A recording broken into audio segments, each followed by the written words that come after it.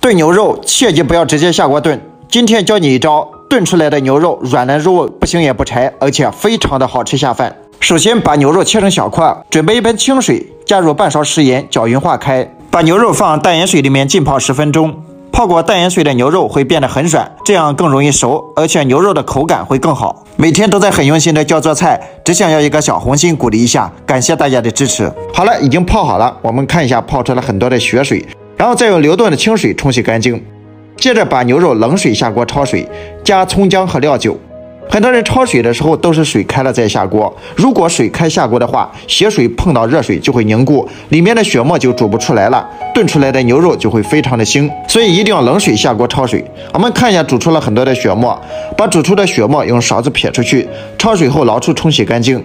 起锅烧油，下葱姜炒香，然后倒入牛肉翻炒均匀。好吃的关键就是加入这个黄焖酱汁，做黄焖鸡、黄焖排骨、黄焖猪蹄等很多菜都非常的好吃。翻炒均匀后，加入适量的开水，然后大火煮开，然后全部倒入到砂锅里面，盖盖小火慢炖一个小时。时间到了，再加入一点土豆，再盖盖继续炖二十分钟。时间到了，再放上一点青红椒，美味即成。香喷喷的黄焖牛肉就做好了。这样炖出来的牛肉软烂又入味，看着就非常的有食欲，开胃又下饭，真的太好吃了。喜欢就赶紧做给家人尝尝吧。